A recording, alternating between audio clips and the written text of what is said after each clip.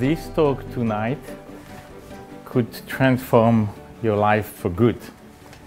I know that looks a little bit weird when I say that, but they told me I have to have a punch sentence to start with though. Just to reassure you, I'll tell you that I haven't joined a sect or a cult. I didn't become a Buddhist monk and I'm not a guru trying to sell you some kind of recipe that you can apply and that will turn you young and happy for life. And I'm not a philosopher either. I haven't read uh, Spinoza or Socrates or any of these people. But tonight could really transform your life. And it may take a little bit more than 45 minutes for you to transform, but my goal is really to inspire you to embark on the journey. So during the next uh, 40 minutes or so, I'm going to tell you a little bit about my journey so you understand where I'm coming from. I will introduce you to the project I created and I will propose you a recipe that you can follow or not follow to get a more fulfilled and a happier life. So the recipe is very simple.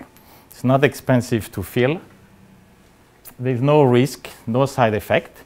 It works in 100% of the cases. And contrary to learning how to play golf or kiteboarding, it has immediate positive effects. So the second you start, the second you start to feel better. But it's not easy to follow, and the reason for that is that it needs commitment. Each of us have the choice to live either an ordinary life or an extraordinary life. And chances that if we don't make that conscious choice, we will live an ordinary, ordinary life. And the reason for that is that we have been conditioned by education to look for certainty, safety, significance as our needs, and to focus on achievement. Because there is no school in the world that preoccupies itself of the inner state of children or who focuses on the happiness of a child. When your kids go to school, they don't come back with homework on happiness, right? They focus on academic achievement. So that condition you in fulfilling those needs for certainty, safety, significance, and achievement. And there's nothing wrong with that. But if you make the choice of living an extraordinary life, you will fulfill all of these needs. And on top of that, you'll feel fulfilled, fulfilled and uh, happier. It's basically the choice between living and existing. Do you want to just exist or do you want to have a life? That's the concept of this project, is to help people making the conscious choice to live something extraordinary. So it's not about quitting the treadmill and then quitting your job, and it's about looking for something coming from more consciousness. So before we start, I'm curious on why you're here tonight. What made you come? And I wonder whether you would spend the next 10 seconds to think of what made you come. Maybe you didn't read the invite, so you don't really know where you came from. And now you, that you found out, you wish you'd stay home or come home. Or maybe you didn't really want to come, but the idea of coming home was even worse than coming here. Or maybe you just came for the dinner and then you felt that if you come here, you can do a little bit of email during the lecture and that'll kill the time. Or maybe you're interested in it. And it doesn't really matter. What matters is that you probably didn't analyze the reason why you're here. It was done subconsciously. But whatever your motivation is, your subconscious has likely set an intention for you tonight that will, for the most part, determine the outcome of this lecture. And that's the power of your subconscious. So if you become more conscious, then you can actually deal with these issues of intentions, of outcomes, And since you can't control the circumstances of your life, at least you can try to take over your subconscious life. So then you have a more conscious and more aware life. So before going further, I'd like to thank you for spending some time with me. You're going to see very soon that I'm really passionate about uh, this topic. I'm also interested in hearing your thoughts and your comments. So I'll talk for a short period of time, and then I hope we can have a meaningful uh, interaction. And before I go to the journey of the last uh, two years, I'd like to share something with you that uh, you may not be aware of, but that had a, a huge impact on my current outlook on life. As for many other people, my hyper achiever personality came from craving for love and recognition when I was a kid. I thought that in order for me to have that recognition from my parents and that love, I had to be the perfect kid. The, you know, the A plus student who does just about everything that's expected of him. So basically, I became a nerd, the kid with the round glasses that nobody likes in class because he always gets good marks. And that uh, had an effect, uh, making me a little bit uh, awkward socially. But the good news is that by society criteria, it made me successful, right? If you get all of these achievements, then you get a good career and then you work. The difficulty is that while this was happening, there were some side effects. And if you ask my kids, they'll tell you their father was more a human doing rather than the human being. And if at that time I had been aware of my true values, not the one that my parents had for me or anybody else, I'm pretty sure I would have achieved the same success without the casualties along the way. And uh, if you fast forward now to more recent year, when I was still the chief in Toronto, had I known then what I know now, I'm convinced that the impact I have had on the people around me and the outcome of my leadership in Toronto would have been much greater. Because the message is really simple.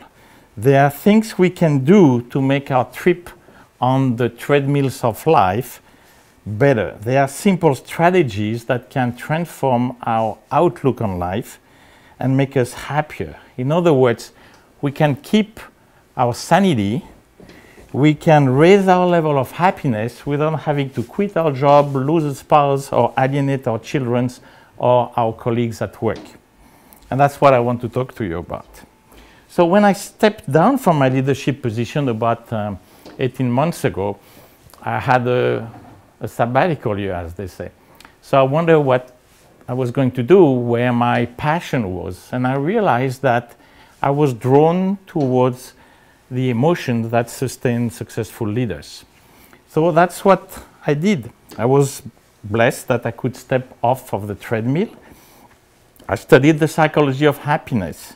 I studied the research on uh, resiliency, vulnerability, courage, trust, love, compassion, and every one of these has a couple of top people in the world who spend their entire life studying positivity, mindfulness, and courage. Very impressive research. I also went to an accredited coaching school and I got certified, and I have to tell you that changed my life. So you may ask yourself, what do you mean it changed your life? You still look like a radiologist to me. But for example, I became more conscious. I made fewer judgments. We had a discussion with the residents today on what it is that people make judgments in a few seconds on people. And I was really great at judging people. So I could walk in a room, assess the room, and within a few seconds, I had every one of the people in the room in a box. And once they were in that box, they behaved and performed according to the box because it was a custom made box. And what happened is that by making all of these judgments on people, you pretty much restrain their ability to contribute to your life to the size of the box. So in March 2003, I started a no judgment policy for me. And it's been fantastic to realize that a lot of people that I would have categorized, you know, the losers, the taker, the giver, the thing, in fact, had way more to contribute to me and to society than what I thought from that box. So that's the kind of thing that can transform your level of consciousness and ultimately your level of happiness. And to give you a sense of how much I believe in the potential of this, I have decided, I have decided to give up my job, pretty secure and stimulating, stimulating job as a radiologist, also well remunerated, to launch this project that is still very much in its infancy and obviously has financial risks and uh, no security. So I think that's what you could call a calling. And happiness is not new. There's actually nothing I'm going to tell you today that hasn't been around for about 2,000 years. It just, it has been sought after for over 2,000 years. And thanks to the field of neurosciences, particularly neuroimaging, thanks to social networks, there's now a large body of scientific evidence that validate what the spiritualists, what the religious leaders, and what the philosophers have told us for thousands of years.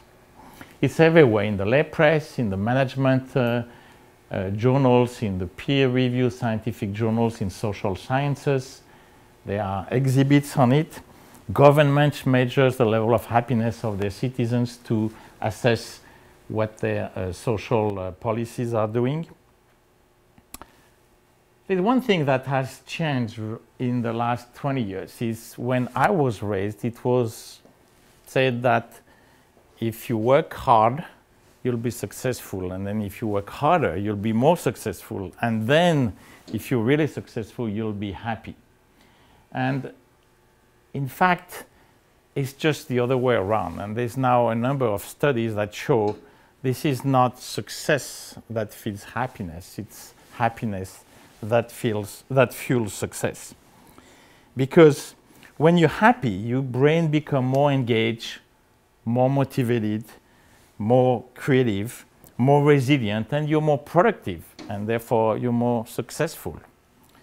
While when you just pursue success, and then you have a milestone, the second you have got the milestone, you're pushing it, and then you have to run again toward the new milestone, and then you have to run over, and then you'll die without having ever reached the stage where you finally can find happiness. So, you know, I'll be happy when I make a million dollars. I'll be happy when I get this paper published. I'll be happy when I get promoted to associate professor. I'll be happy when I be the chair. And guess what? You're the chair and you're still running after something. So that's success does not pro provide happiness, but happiness fuels success. There's solid research evidence that show that happier people are healthier, they live longer, they have better relationship, they make more money, they're more creative, the immune system is better. And there's also very solid grounded research that shows that there are simple strategies that you can implement in your daily life that will raise your level of happiness significantly and sustainably, not something that will just last for a week. There are actually a lot of randomized clinical trials measuring different population and showing that. And besides these Strategy coaching is probably the fastest shortcut to personal transformation. It allows people to find out who they truly are and to shift their energy from this catabolic status, which would be the energy when you feel like a victim. You know, it's unfair what happens to you. So what do you do? You blame everybody, including yourself, or the status of being angry and defiant. You know, you basically punch me, I'll punch you back. And then you create this basically bully presence that just doesn't produce anything, but is draining, constricting, and basically using all of your resources for very little outcome. So if you can shift that energy, which is catabolic, to an anabolic energy, which is based on non-judgment, taking responsibility, and then reconciliation, forgiveness, compassion, then obviously you're focusing all of your resources to something that's building rather than destructive. And then you can be at the cause rather than at the effect of your life. So you guys are all some scientific background. So you're going to tell me, you know, if happier people get all of these perks, and then if it's simple to be happier, why aren't there more happy people in this world, right? And there are two, in my opinion, there are two reasons why they are not. The first reason is people are not aware of their blocks and they're not aware that they're actually strategies. They're so busy running on the treadmill with binders that they don't have a chance because all they care is to follow their conditioning from childhood, which is to be successful, to achieve at any cost. So there's nothing wrong with achieving, but if that's your only goal, then your chances is that you won't be as fulfilled as if, in addition to achieving, you're looking for a more meaningful and fulfilled life. But the second reason is probably more important, is that happiness has to do with the soft stuff, the stuff you don't want to talk about because it's inside and you're afraid that it's going to make you vulnerable. And if you're vulnerable, then you think that you'll be weak and you don't want to be weak. So you feel safer hiding behind your screen on your smartphone or you feel your uh, uh, screen at work rather than having a meaningful, a meaningful conversation with your colleagues or with your children. And because we're not very comfortable with this inside job, we're actually not completely honest with ourselves. So if I ask you, if I ask myself whether I'm happy, you're going to tell me, of course I'm happy. I have a very stimulating, well remunerated, secure job that really I like. And then I have a good family. My spouse loves me. I have a look at these nice children. They go to private schools and I'm financially secure. So I am happy. That's fine. But then when you listen to the same people telling you that, their language is very, very drawn towards negativity. And there's a negativity bias already in our mind, but there's a disconnect between what we hear in terms of cynicism and behavior of people who have just about everything to be happy, but who focus their entire life on achievement without taking care of their own fulfillment. There's a say on psychology that positive emotions are like Teflon. They're very temporary because they don't stick on the pan. So you have one, poof, it's gone. While negative emotions, they're like Velcro. You get them and they're going to stick to you for an hour, a week, or life. So you need to have way more positive emotions than negative emotions if you want the ratio to be balanced. So when we talk about our level of happiness, we talk about our level of achievement. But all of these negative emotions that are sticky like Velcro and that are there making us ruminate for sometimes months at a time, they are basically eating us from the inside and responsible for our lack of uh, fulfillment. Just think of the last time you had an evaluation and then someone just went through it. Like I used to get a 360 every year as the chairman. And every year it was a nightmare because you get all of these nice comments and then there's one comment that says that whatever, you could do better. And what do you do? You're just going home and you ruminate with it and you make the life of everybody around yourself miserable because someone had the guts to tell you that you are not God. But all of these compliments you got, just like Teflon, they didn't stick. You don't even remember. You don't even know you had them. And that's what we do. We go through life not even recognizing the positivity that's all around us. But if we train ourselves to look at these, what are called micro positivity moments, then you can have more and more of them, and they may last 10 seconds or 15 seconds. So they're not going to decrease your productivity at reading CT.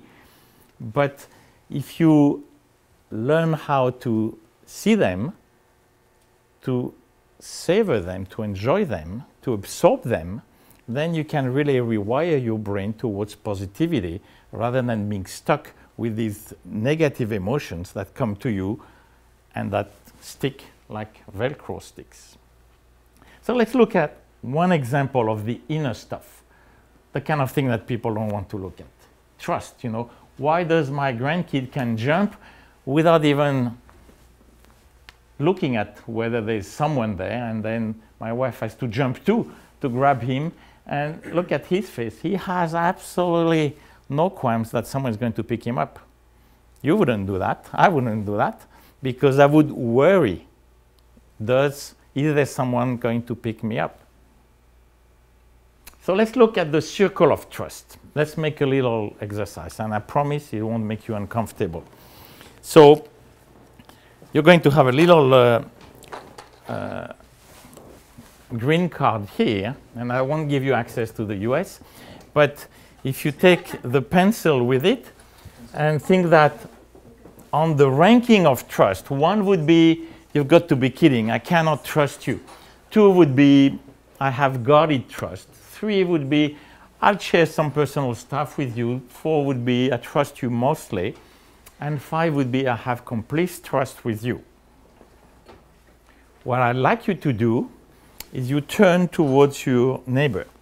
So look, look at them in the eye for five seconds. And mentally, you don't have to say anything. And mentally, I'd like you to rank that individual from one to five. You don't write anything, just look at the one sitting next to you or behind you and see whether this individual is the one, two, three, four, or five. Okay? I'm, you can do behind. You pick. You can look at me. You can look at me. Okay? So five seconds. Look at the individual and decide whether you would rank them. You do that mentally from one to five. And because that's mentally, you don't have to pretend anything. Okay. No, you just, that's the appetizer. So the main course is now I'd like you to think of the six or seven people who you are working the most closely with. They don't have to be MDs, like could be your assistants, they could be trainees, there could be people working closely with nurses, technologists, people you have to rely on. So mentally, think of six or seven, and one by one, I'd like you, I would like you to plug their initials on that circle of trust. So let's say I work with someone whose initial is MA, and I trust that individual mostly, then I would put MA on near the four. And then if I would go to the next one, do that with five or six or seven people for the next two minutes, if you feel like it. You can do anything you want, Wonder Woman.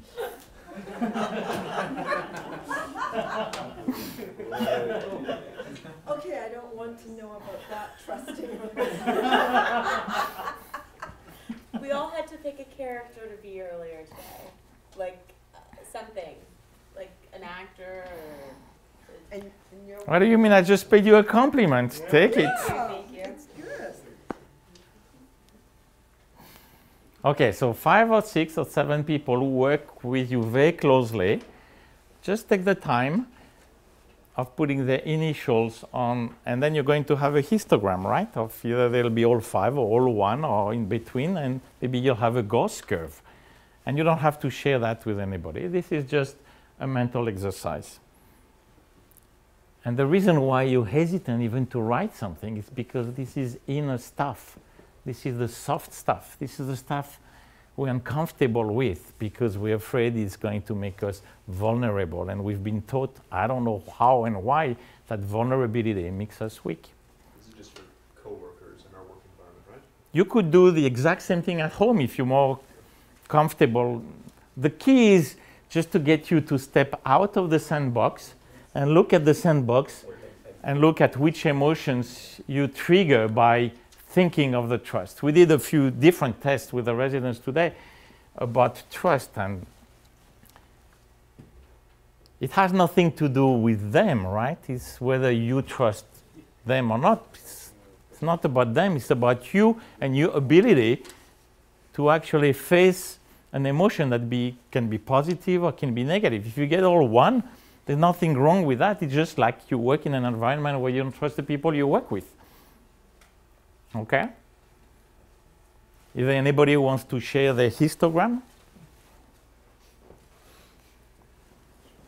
Go ahead. Don't give me the name, just give me the numbers. I'm, I'm localizing more to be between two and three. Okay. Anybody has only five? I was going to say you're delusional, but I can't do that. That's Andrea.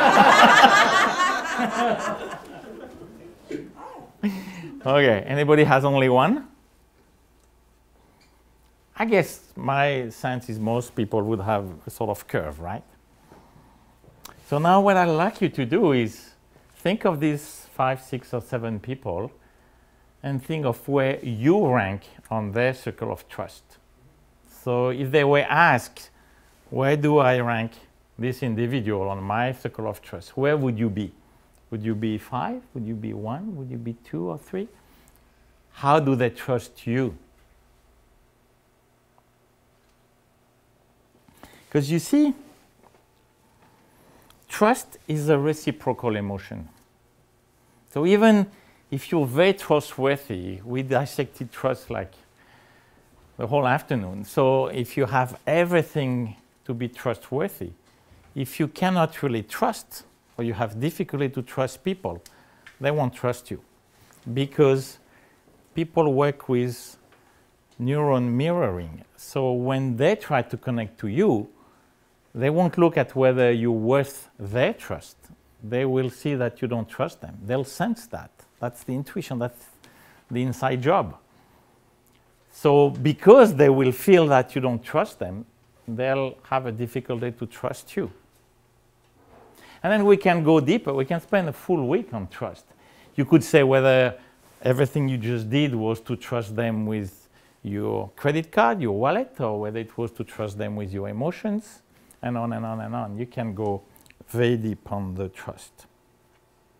Now you could imagine what your life would be if the trust of the people you ranked on your of trust were all five, like you were all like Andrea, and you were working with people you trust 100%.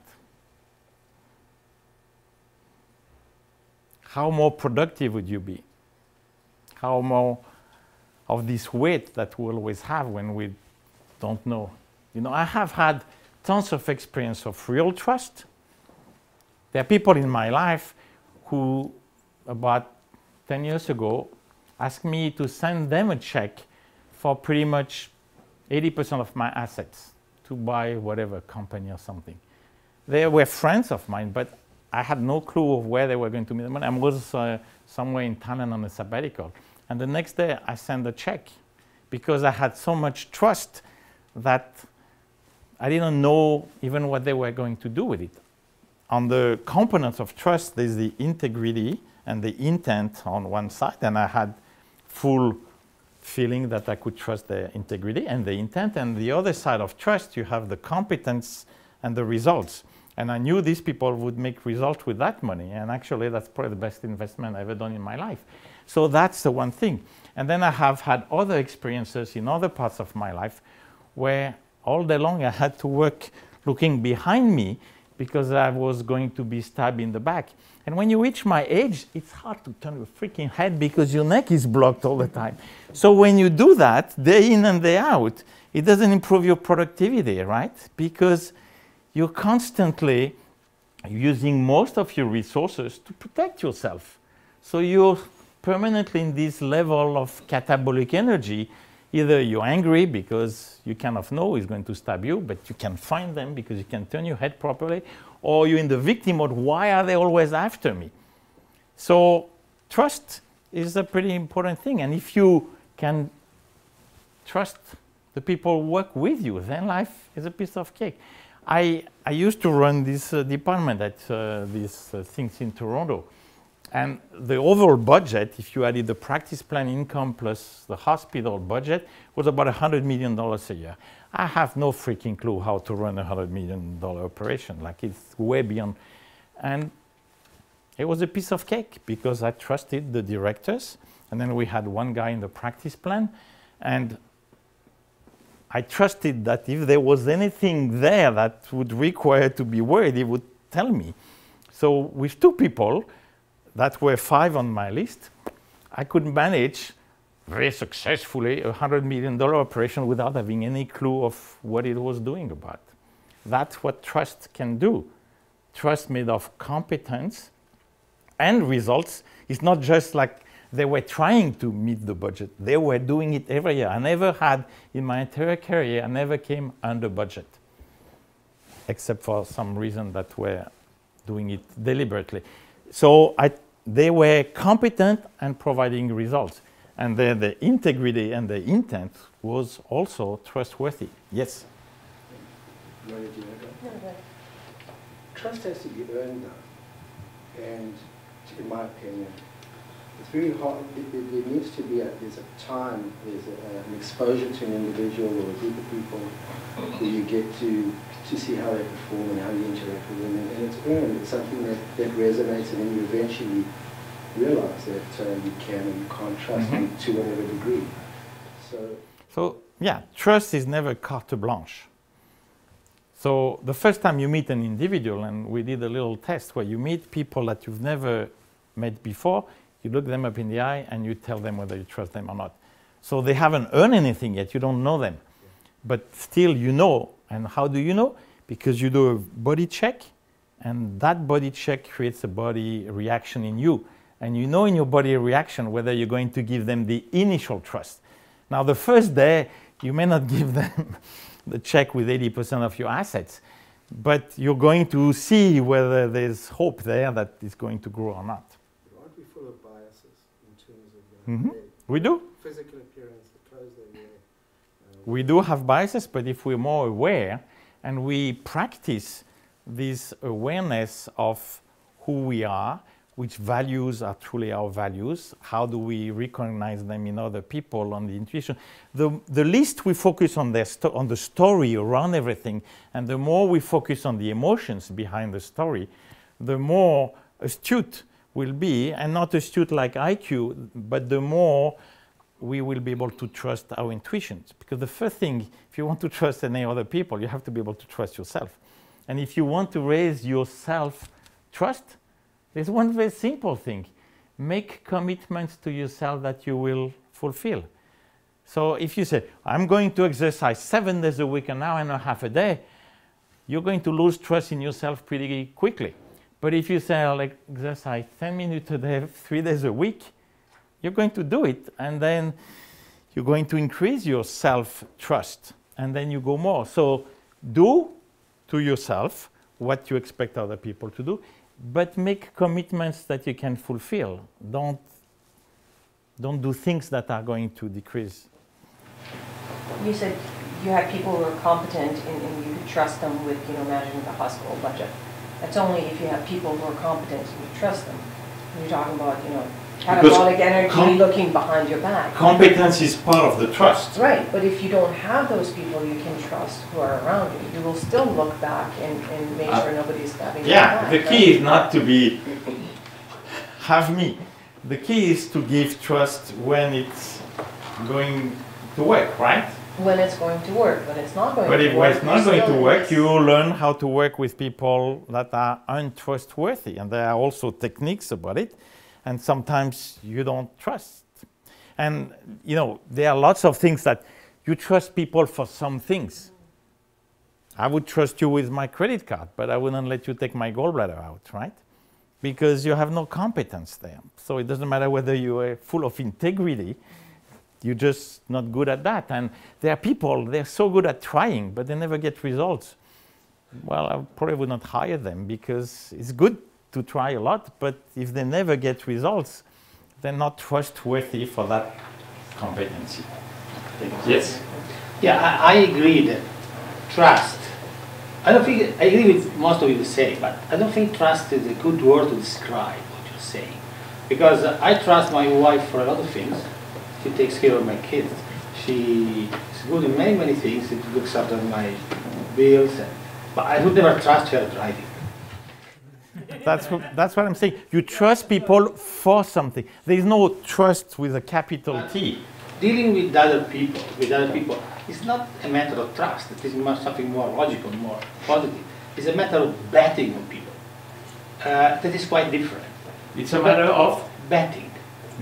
Uh, you know, even uh, every everything is tell you that this person is uh, brutal, vulgar, liar. Uh, the worst thing you can think of. You still bet that there is something good in that person. Even if you talk to a group of people, uh, and now most of them are really not understanding, not really human beings.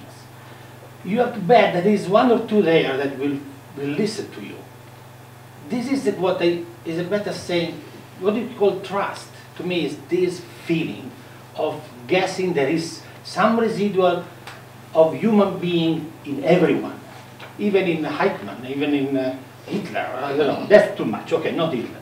But, uh, But so Yeah. just a second. There is a beautiful page of Simone Weil, the philosopher, the, the Catholic, the Jewish.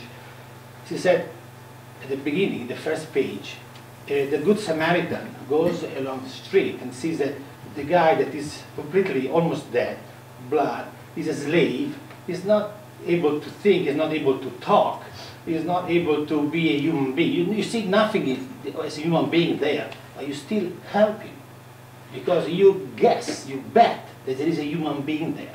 It is like you, are, you become like God because you create a human being with your trust, with your yeah. that's compassion.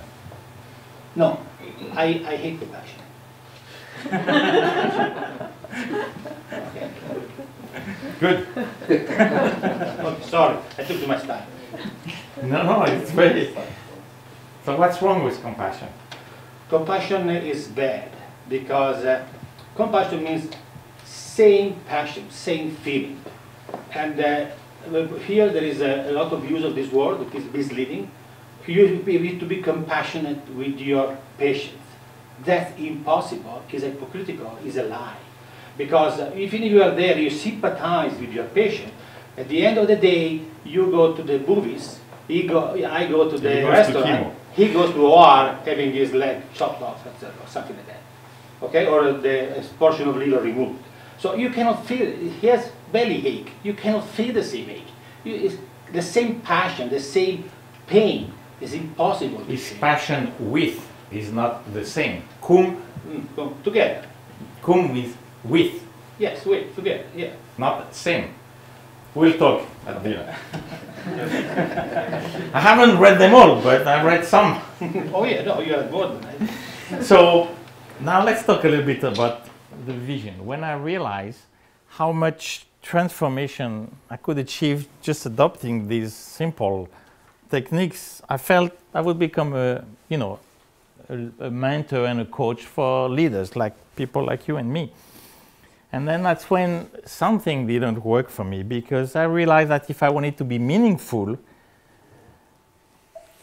on bringing you know more awareness consciousness that will lead to joy and fulfillment why would i reserve that to a very small elite group because in my book a leader is someone who gets results by inspiring trust so whether you lead an organization of 5000 people or whether you're the leader of your family of four or just the leader of yourself this is the same thing. The leader is how do you inspire people? So that's when this transformation project came in. And then I was thinking about 20 years ago, I helped creating a shift in radiology with this PACS transformation. And the way it happened is we created tools and then we made them available to everybody on the internet. And that created a shift in the industry that we still perceive today. And what our industry needs today is a shift in awareness that will lead to more fulfillment and more happiness for its members. Because if you transform a physician, you get the ripple effect of everybody that they're going into contact with patients and colleagues. And if you transform a tech, you get the exact same ripple effect. If you transform the people who, the receptionist, you have the same ripple effect. So by touching one person, you get many. And this awareness campaign that uh, I'm doing right here now is meant to basically inspire people. And this is a bit like adoption of a new technology. When you get a new technology, you get people who are ready for it. You know, you're ready for your iPhone 6. So you're just going to get it because you're fed up with the system and you know there's something more than this treadmill. Although it is a pretty damn good life, you know there's something more. So you're ready to transform, and that's what I would call the early adopters. And the majority of people, they just listen, and then they'll just follow and wait to see how these things goes. And then there are people who are more conservative, and then it's like planting a seed, and then it will grow. But those people who transform because they were already ready, what's going to happen to them is the more they're transforming, the more they'll be happier. A lot of people say, What's in it for you in this project? And what's in it for me is the number of people I transform. Because the more people get happier, the happier I get. It's the concept of the two for one. If you give money to a shelter, it gives a sense of purpose. You help people, and you know, on the five pillars of happiness, there's positivity, there's engagement, relationships, meaningfulness, and achievement. So the purpose give you the meaningfulness, something that's bigger than you. You help someone by giving money to a shelter. But you don't need the shelter, you have a house.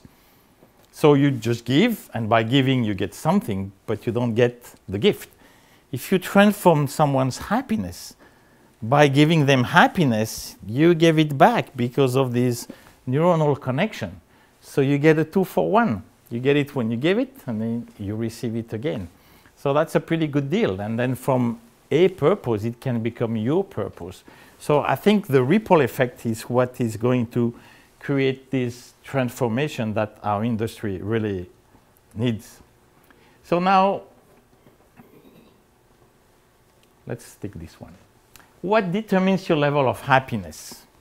People are always uh, shocked to realize that your environment thinks that happens to you your liver removed and chemotherapy or whatever bad things or good things happens to you is only responsible of 10% of your level of happiness. Very, very, very little.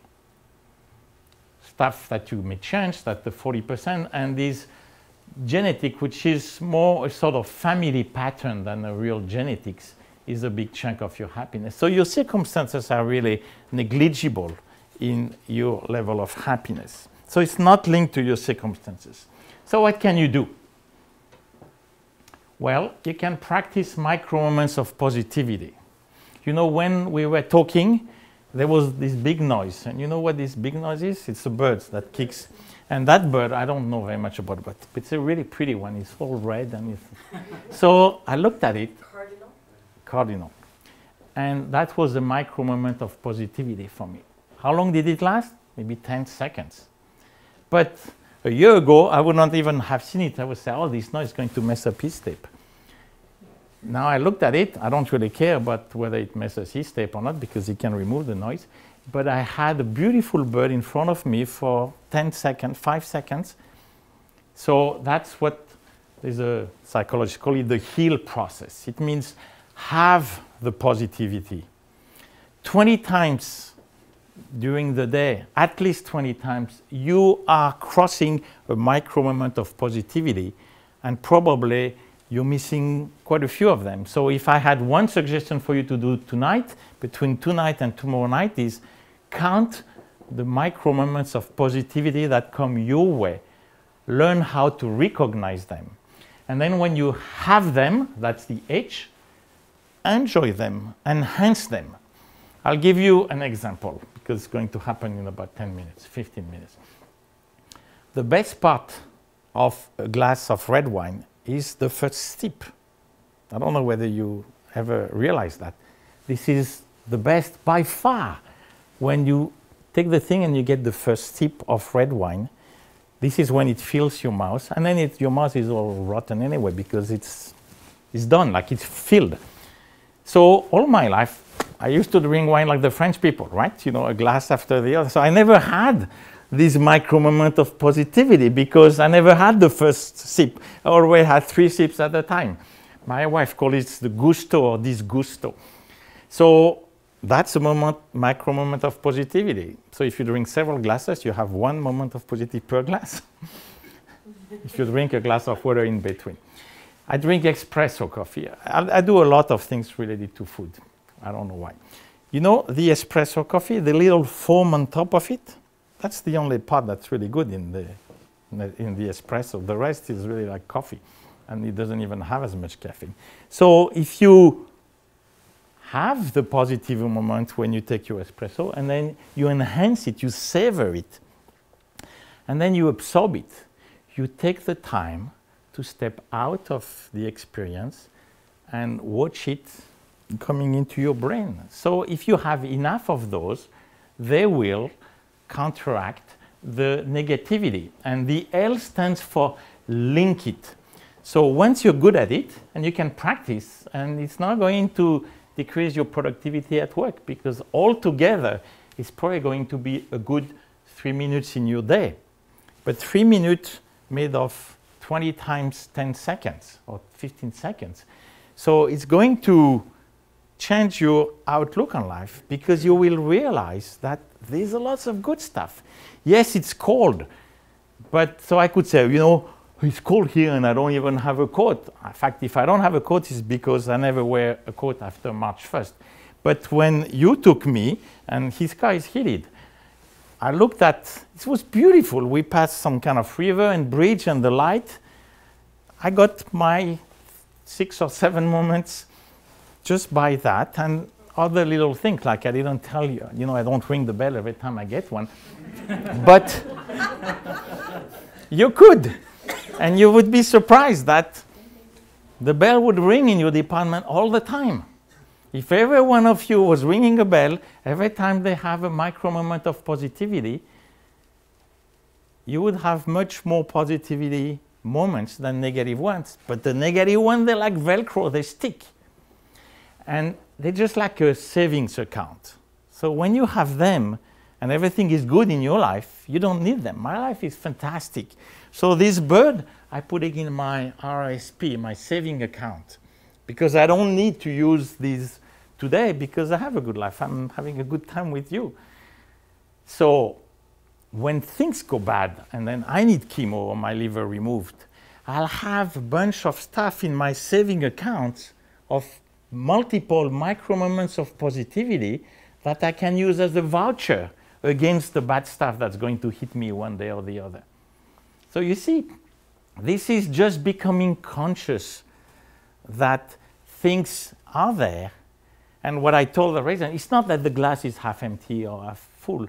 It's not that you have to say, well, life is good. I'm just, you know, like uh, living in a delusional world.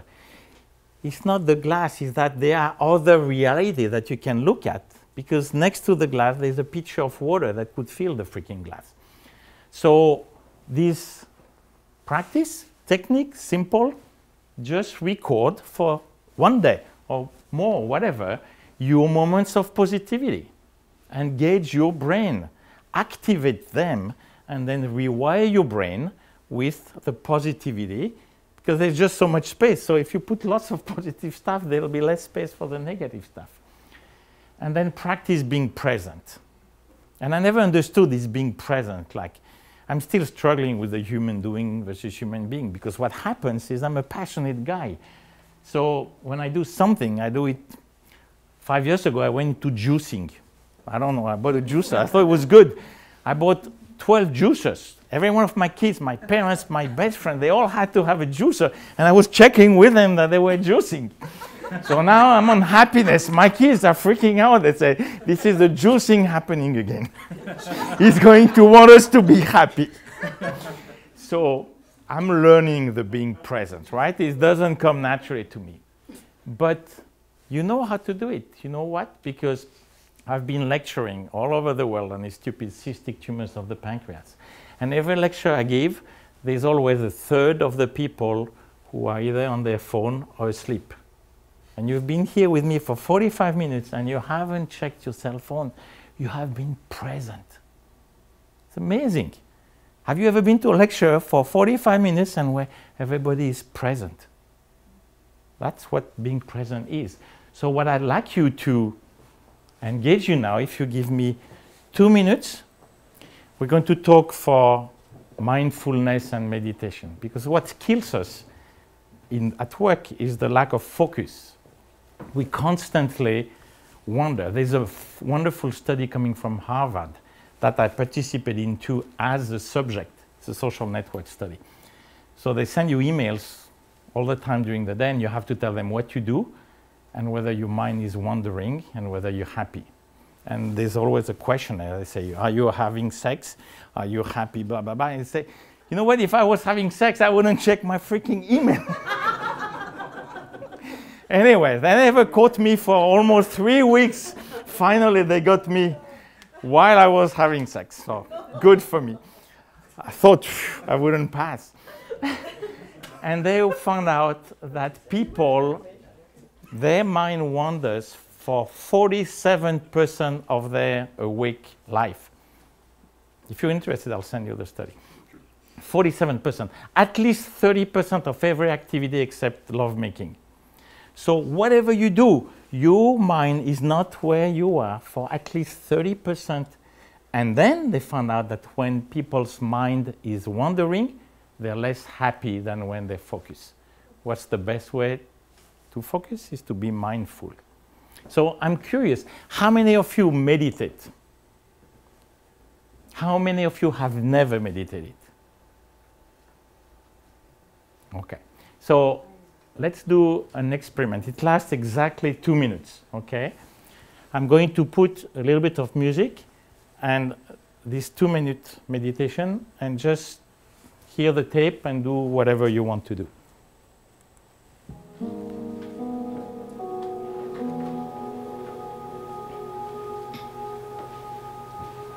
Welcome to this two minute pause in your day. Allow your eyes to close and bring your palms to rest on your thighs. Begin to consciously notice your back. Sense where you feel contact between your back and the chair or cushion.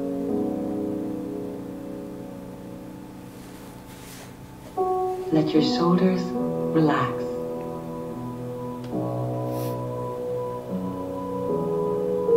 Focus now on your chest and heart area. Noticing any sensations there. Letting any tension begin to melt away.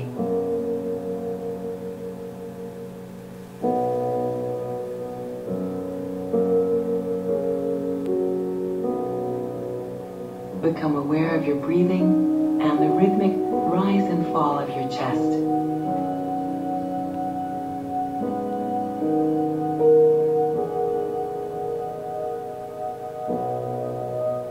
Let your focus expand to both your arms and your hands resting on your thighs.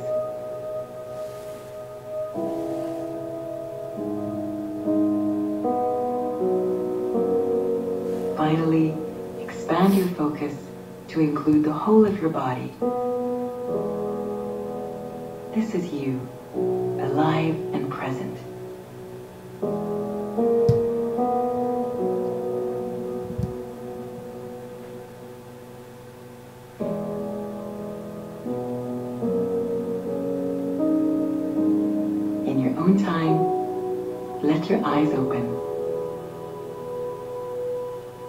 Your session is now completed.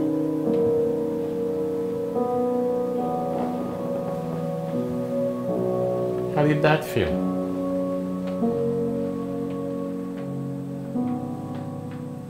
Two minutes. Okay, I don't want to push my luck. You haven't touched your little devices, and I don't know how much you can I see some of them like starting to agitate themselves. So what I suggest is that it's time now to pull your device out. So please take your phone out or whatever you're using if you feel inspired to do so. And if you want me to send you some of compilation of the research I have on all of this stuff or some of uh, the things that we've discussed, then just send me an email at patrice at patricebret.ca. And then in the subject, you just have to put Happy London.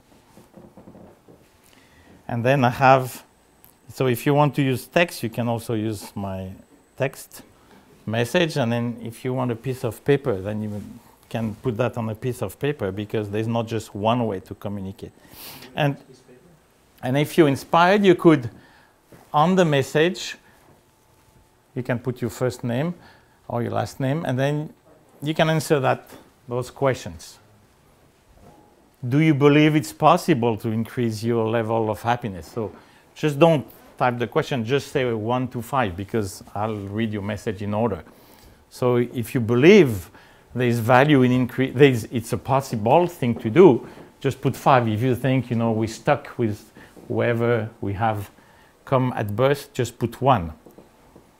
And then the next question would be, do you believe you can increase your level of happiness? In other words, the first question is generic, the second one is up to you.